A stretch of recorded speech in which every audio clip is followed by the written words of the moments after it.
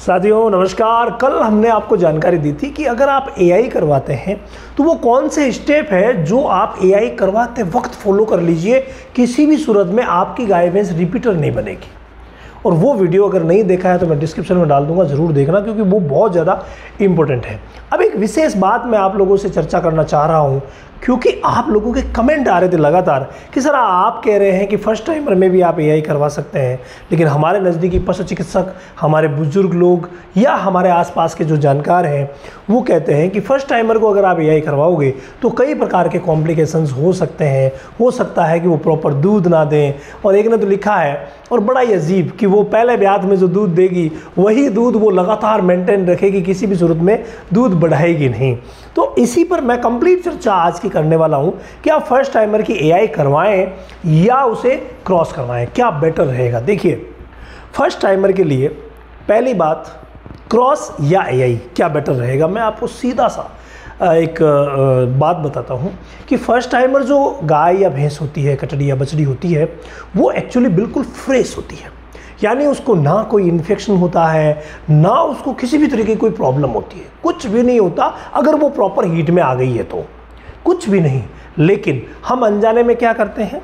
उसे सांड से क्रॉस करवा देते हैं या भैंसा छोड़ देते हैं। उससे क्या होता है? उससे होता है उसको संक्रमण। अब फ़र्स्ट टाइमर के कई ऐसे कैसेज हैं जो रिपीटर बन गई है।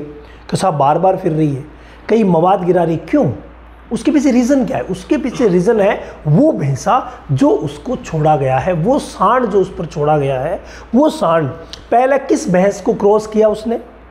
या पता नहीं उसने किन किन भैंसों को क्रॉस किया, जिनसे वहाँ इन्फेक्शन आ गया। और वो इन्फेक्शन अब अब हमारी कचड़ी बचनी में आ गया है। तो इस इन्फेक्शन से बचने का सबसे बड़ा तरीका है, और वो है कि आप एआई करवा लें। अब एआई में क्या मुसीबत है? किसी भी सूरत में जो जेनेटिक उस पार्टी की, उस बछड़ी की है वो किसी भी सूरत में नहीं बदलेगी एआई करवाने से। ये आप मान के चलिए। उल्टा अगर आप एआई करवा रहे हैं तो उससे बहुत अच्छा नस्ल सुधार होगा। तो नस्ल सुधार होने से जो कटड़ी बछड़ी इसके पैदा होगी, वो बहुत अच्छी होगी। यानी उसकी जो जेनेटिक्स है, वो स्ट्रॉन्ग होगी। अगर आपने अच्छा सिमन यूज़ करवाया है तो। तो किसी भी सूरत में आप ये बात दिमाग से निकाल दें कि एआई करने से इसकी खुद की जेनेटिक डिफेक्ट हो जाएगी। नहीं एआई करने से ऐसा कुछ नहीं होता है।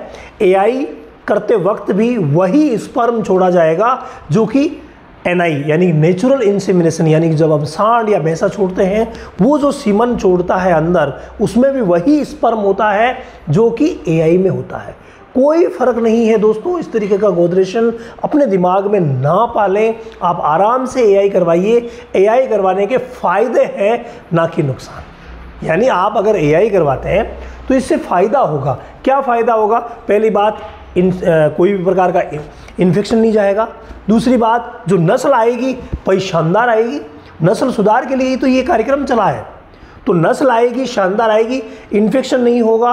और तीसरी बात जो कटड़ी बछड़ी इधर उधर आप लेके जाते हैं, भैंसे के पास लेके जाते हैं तो कई प्रकार के स्ट्रेस कई प्रकार की परेशानियाँ भुगतती है।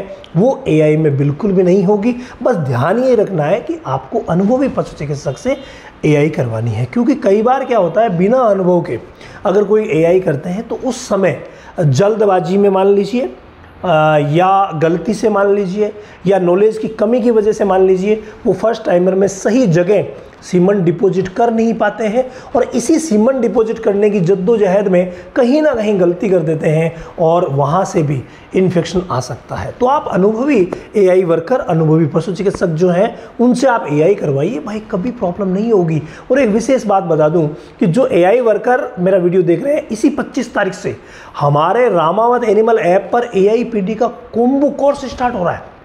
उसको अगर आप ज्वाइन करना चाहते हैं तो अभी से आप मैसेज कर दीजिए। ये जो कॉम्बो कोर्स है, हर महीने की 25 तारीख से शुरू होता है, एक महीने में, पूरे एक महीने में मात्र ए आई पी टी की ही बातें होगी। कंप्लीट ए आई और पी टी आपको सिखाई जाएगी। अगर आप इच्छुक हैं तो ज्वाइन कर सकते हैं और अपना नॉलेज बढ़ा सकते हैं।